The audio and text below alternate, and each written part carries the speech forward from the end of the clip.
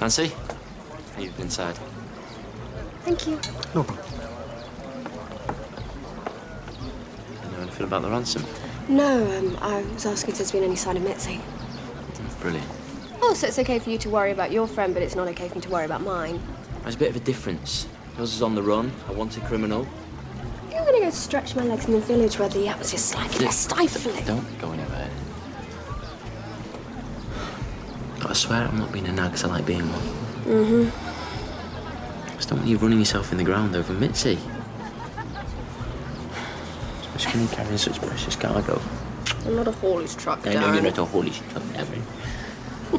My wife, and I promise to look after you and protect you forever and ever. I remember, remember? Okay? Okay. I'll keep my nose out. That's all I ask. Right, don't put your feet up. I'll rustle up some food.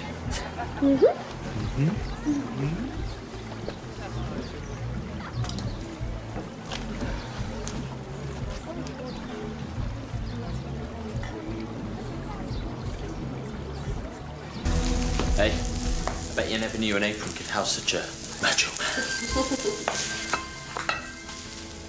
man. Oh, who's that?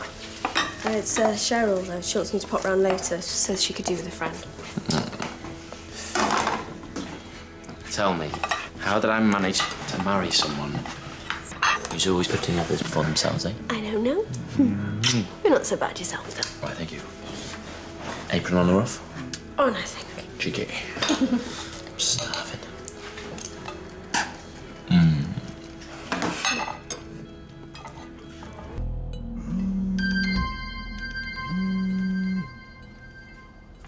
Nancy, you got a text?